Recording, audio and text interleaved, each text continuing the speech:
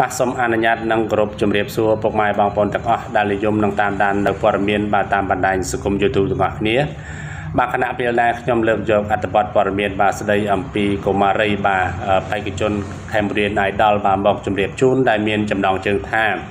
អេយ៉ាលេចមុខក្នុងការប្រគំតន្ត្រីហើយកុមារីឈួនស្រីណងអតីតបេក្ខនារីក្នុងកម្មវិធីប្រឡងចម្រៀងកុមារលំដាប់ថ្នាក់ពិភពលោក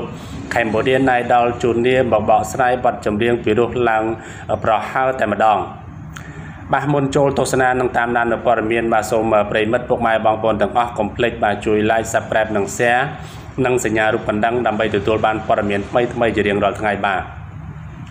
ពុកម៉ែបងប្អូននិងប្រិយមិត្តអ្នកអានទាំងអស់ប្រហែលជាមិនទាន់ភ្លេចមុខកុមារីជួនស្រីណងទេ មើលទៅនាងគឺជាកុមារីដ៏លេចធ្លោម្នាក់ដែលមានសម្លេងពិរោះក្រអួនក្រអៅរំដំចិត្ត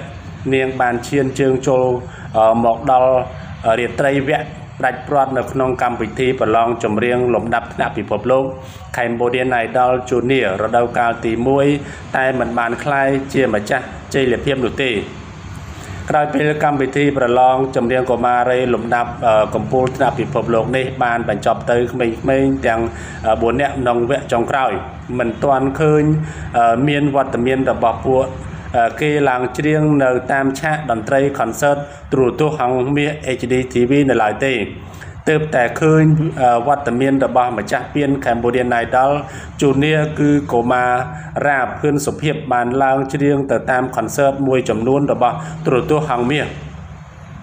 ស្រាប់តែពេលថ្មីថ្មីនេះកន្លងទៅនេះទើបតែមានលេចវត្តមានរបស់អតីតបេក្ខនារីក្នុងកម្មវិធីប្រឡងចម្រៀងកូម៉ារ៉ាលំដាប់ថ្នាក់ពិភពលោក Cambodian Idol Junior រដូវកាលទី1 គឺគឺកុមារីឈួនស្រីណងបានឡើងច្រៀងនៅក្នុងការប្រគំតន្ត្រីរបស់ Chitan Concert 2020នៅក្នុងការប្រគំតន្ត្រីនេះកុមារីឈួនស្រីណងបានលើកយកបទចម្រៀងពីរោះជាច្រើនបទមកធ្វើការបកស្រាយមានទាំងបទចម្រៀងបែបមនោសញ្ចេតនាហូរទឹកភ្នែកនេត្រានិងបទ